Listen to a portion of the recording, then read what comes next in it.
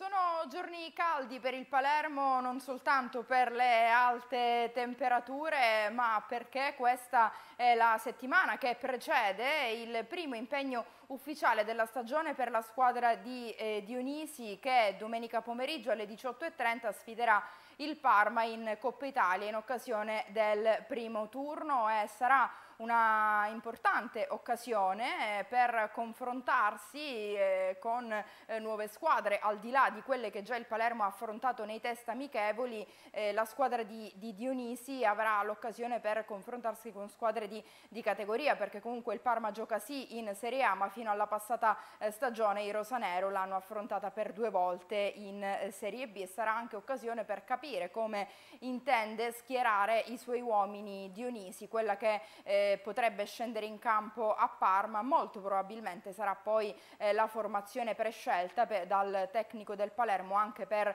affrontare il campionato che ricordiamo per il Palermo inizierà venerdì 16 agosto alle 20.30 in anticipo ehm, contro il Brescia in trasferta. Dicevamo giorni caldi non soltanto per il campo ma anche per quanto riguarda il calciomercato. Qualche giorno fa il direttore sportivo del Palermo De Santis ha detto che c'è ancora qualcosina da fare per completare la rosa e che la rosa si vuole completare prima dell'inizio del campionato. Oggi il 6 agosto abbiamo detto che il campionato inizia il 16 e quindi saranno eh, dieci giorni eh, cruciali per consegnare a eh, Dionisi una formazione pronta per disputare eh, la prossima eh, Serie B. E De Santis lavora sia in entrata che eh, in uscita. Le ultime cessioni che sono state ufficializzate sono quelle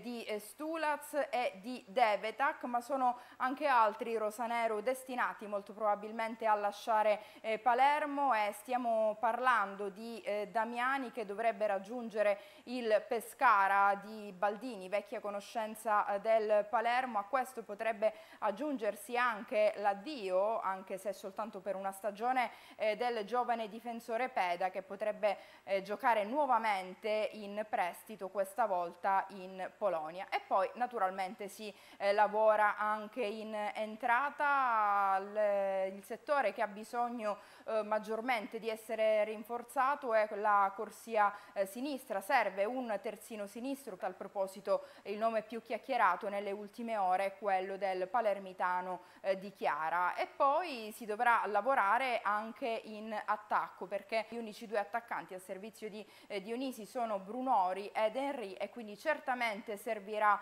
eh, qualcuno anche eh, lì davanti. Lo dicevamo, sono eh, giorni caldi, giorni intensissimi e attendiamo cosa riserverà ai colori eh, rosanero questa sessione estiva di calciomercato.